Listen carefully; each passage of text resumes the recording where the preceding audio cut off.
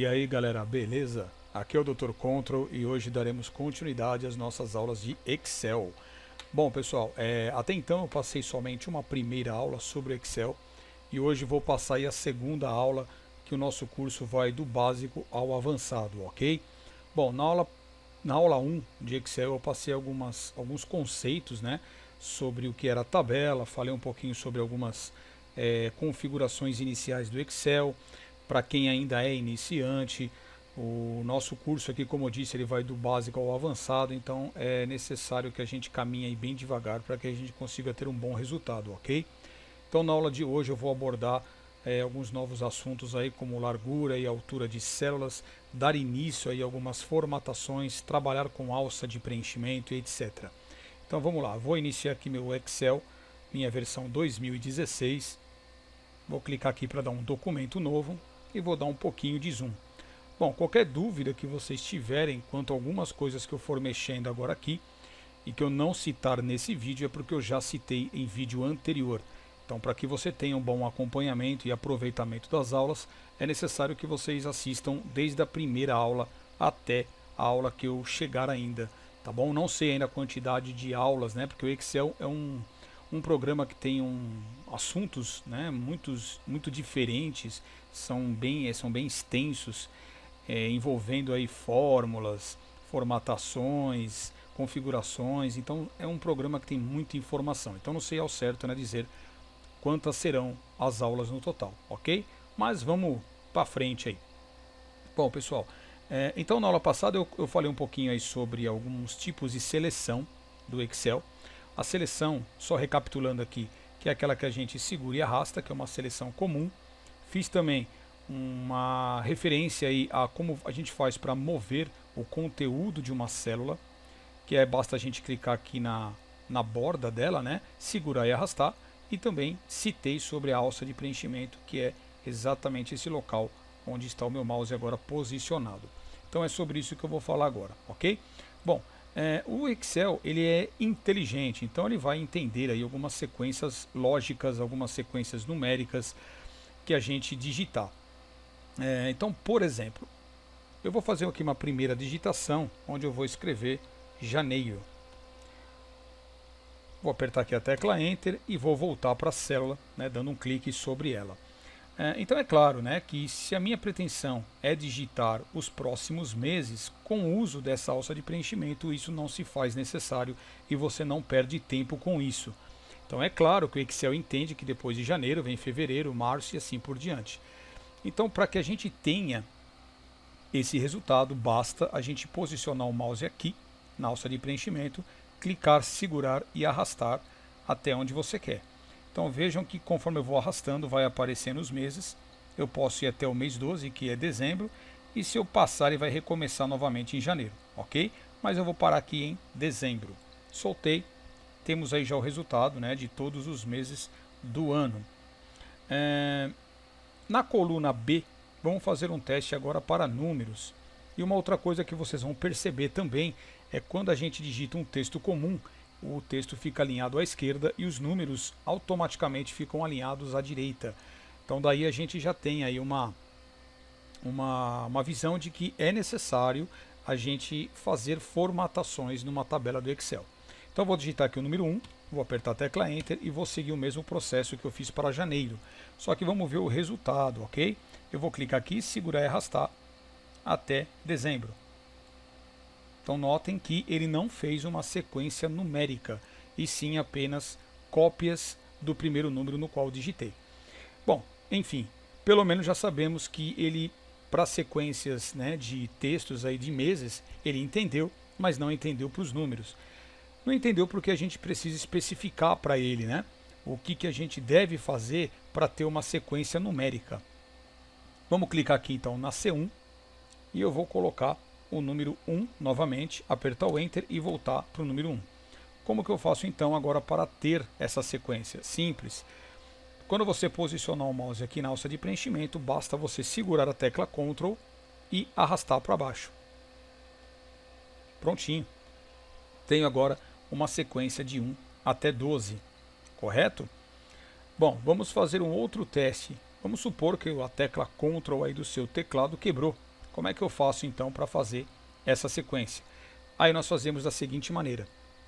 Digitamos o número 1, Enter, o número 2, Enter. A diferença é que agora é necessário que a gente selecione os dois números, como eu estou fazendo aqui.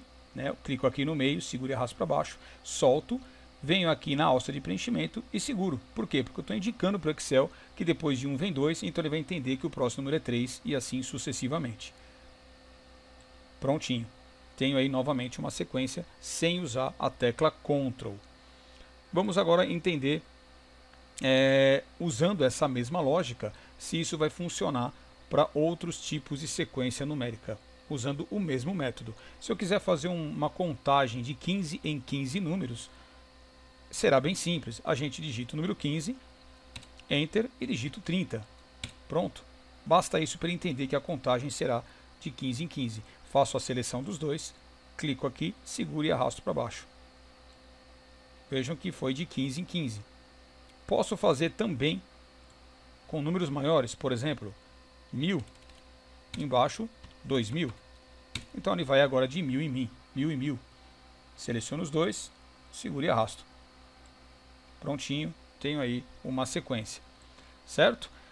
Outra questão também, se a gente quiser fazer para dias da semana. Então vamos fazer um teste? Vamos escrever aqui domingo, apertar o Enter, clico no domingo, seguro na alça de preenchimento e arrasto até lá embaixo. E vamos ter o resultado com os dias da semana. Então vocês perceberam aí que o Excel ele é inteligente, né? ele conhece as sequências que a gente deseja fazer. É, notem que essa última coluna, já aproveitando, é, o texto aqui invadiu. Né? Isso vai ser muito comum durante a digitação de suas tabelas, de suas planilhas. É, você digita o texto dentro de uma célula e esse texto invade a coluna seguinte. Quando isso ocorrer, nós temos duas maneiras bem práticas de resolver. A primeira é você posicionar aqui o mouse é, entre as divisões das letras, né, dos títulos aí da parte superior, se você quiser ajustar o texto automaticamente à largura da célula, basta você vir aqui e dar dois cliques. E aí a coluna se autoajusta ao tamanho do maior texto da coluna. Caso você queira um tamanho maior, você não dará dois cliques, e sim segurar e arrastar. Então aí eu posso ter uma coluna bem mais larga. Então lembrem que sempre eu faço o ajuste da largura da coluna pelos títulos aqui em cima, ok? Ó, entre o B e o C, o C e o D, o A e o B, e assim sucessivamente. Caso queiramos que todas as colunas tenham a mesma largura, né? então vou fazer o seguinte, primeiro vou dar dois cliques aqui, ó, na divisão de cada uma para fazer o autoajuste ao conteúdo. Aí nós temos uma tabela um pouco mais compacta, mas vamos supor que a gente queira uma largura né, por igual de todas. Para isso vocês vão fazer uma seleção segurando aqui na coluna A, segura e arrasta até a coluna que você deseja, sempre pelas letras aqui em cima, ok? Feito isso, agora em qualquer das divisões entre as letras eu posso segurar e arrastar. A hora que eu soltar aqui, todas as colunas ficarão do mesmo tamanho. Olha lá. Certo? Se, claro, se não coube aqui, eu arrasto um pouquinho mais para que todas fiquem iguais. Ó. Agora todas elas estão numa mesma largura aí né, padronizando é, toda a sua tabela. Bom, se temos, se temos aí uma largura, também temos as alturas e o processo é o mesmo aqui nos números do lado esquerdo. Então aqui onde está escrito janeiro, eu posso vir aqui entre o número 1 e 2, segurar e arrastar para baixo. O mesmo para 2 e 3, para 3 e 4 e assim por diante. Ok? Então essas alturas elas podem ser também modificadas a seu gosto. Uma outra coisa, eu vou voltar aqui para ajustar novamente, dando dois cliques. Vamos supor que eu queira agora adicionar uma nova coluna no Excel ou uma nova linha no Excel. Né? Para isso também é bem simples, basta eu clicar sobre a letra ou sobre o número com o botão direito e adicionar. É, lembrando que essa adição sempre será feita, se for coluna, sempre será feita uma coluna à esquerda daquela na qual você clicar, e se for no número, será inserida uma linha acima daquele número que você clicar. Exemplo, vamos supor que eu queira criar uma nova coluna antes da letra A, que será a letra A. Ela vai se tornar a letra B. Então aqui você vem em cima da letra A, botão direito e colocamos a opção inserir. Pronto. Tem uma nova coluna inserida até lá embaixo, tá? até a última linha do Excel. Seguindo esse mesmo raciocínio, eu posso fazer a mesma coisa aqui com o número 1. Vou com o botão direito número 1, coloco inserir e será inserida uma nova linha acima daquela que você clicou com o botão direito, certo? Vou fazer mais um teste aqui, antes de março né, e depois de fevereiro eu quero uma nova linha. Venho aqui no número 4, inserir. Olha lá. Agora eu quero aqui, antes da coluna E, mais uma nova coluna. Botão direito, inserir. Então, da mesma maneira que você insere colunas ou linhas, é a mesma maneira que você deleta. Vou deletar essa coluna, clicando aqui com o botão direito, excluir. Vou clicar com o botão direito na linha 4, excluir. E na linha 1, excluir. Certo? Voltando então à tabela ao normal. Correto, pessoal? Então é dessa forma que a gente faz é, a inserção de linhas e colunas no Excel. Bom, vou deletar todo esse conteúdo, né? vou fazer a seleção aqui de tudo e vou apertar a tecla Delete.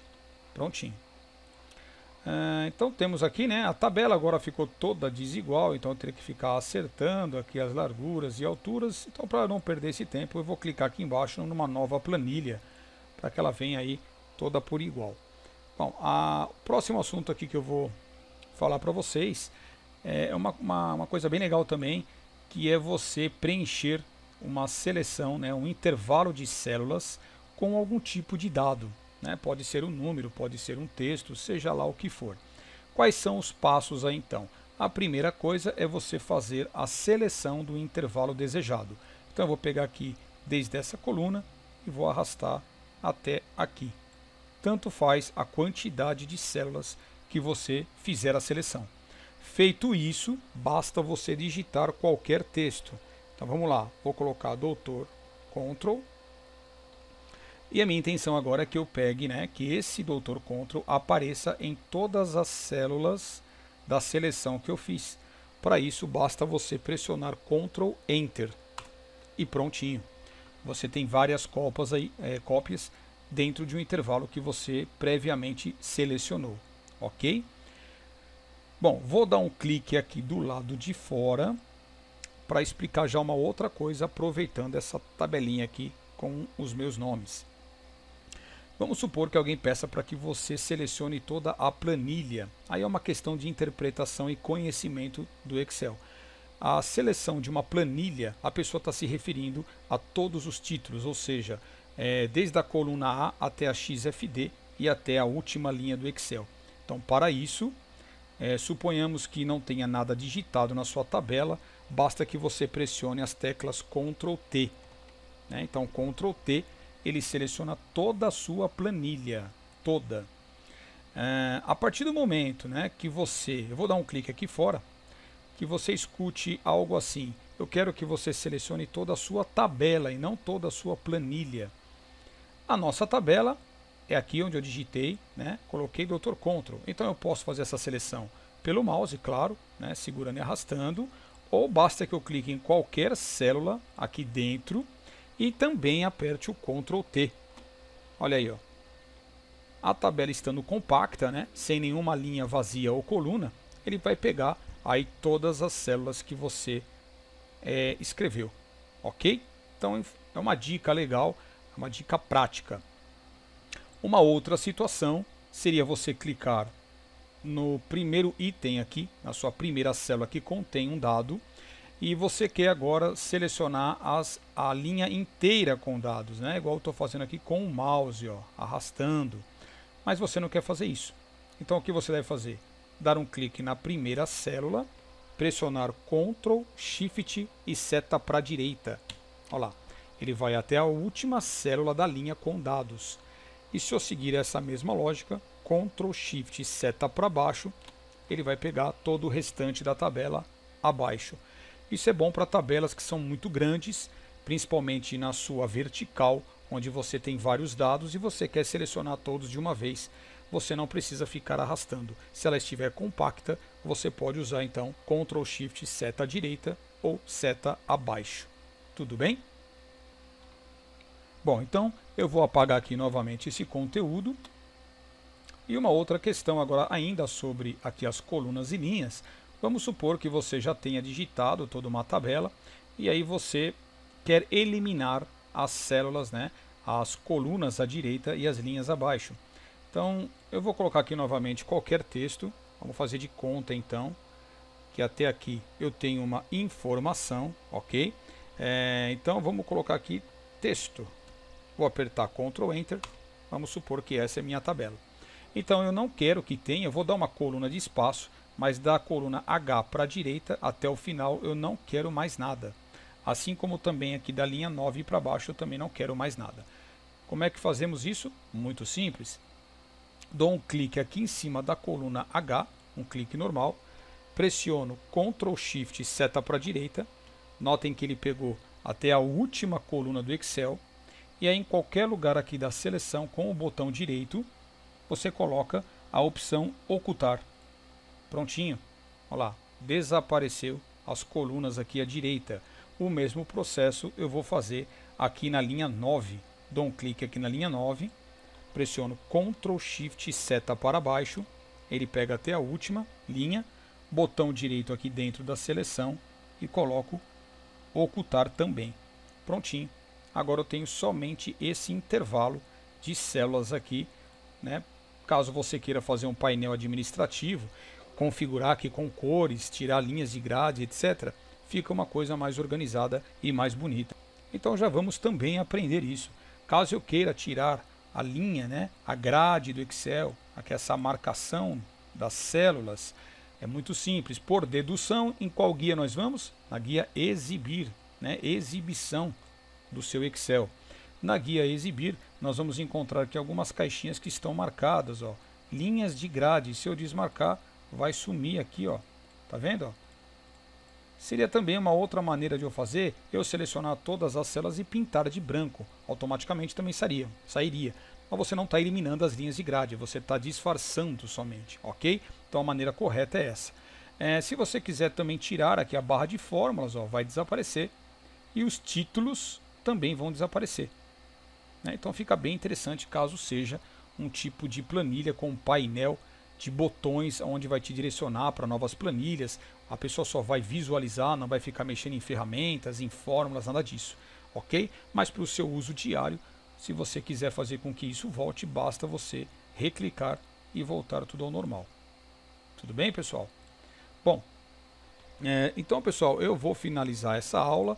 Espero que vocês tenham gostado, né? Nós estamos ainda nos passos iniciais. Estou tentando fazer vídeos aí não tão longos para que não fique cansativo, pois os primeiros vídeos são um pouco teóricos. Eu tenho que falar bastante mas aos, acredito que já nos próximos vídeos a gente vai começar a fazer algumas aulas um pouco mais práticas, onde vocês vão efetivamente começar a fazer a digitação, vou, vou ensinar a fazer uma formatação, desde uma formatação básica até um pouco mais avançada, onde a gente vai colocar algumas cores diferenciadas, bordas diferenciadas, saindo um pouquinho do padrão, tá?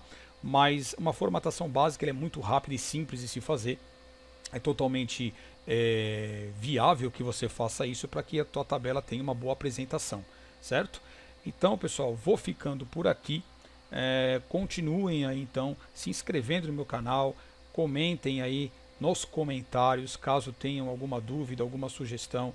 Quero agradecer novamente e curtam o canal, ok, pessoal? Então fica aqui o forte abraço do Dr. Control e até a próxima. Valeu, gente!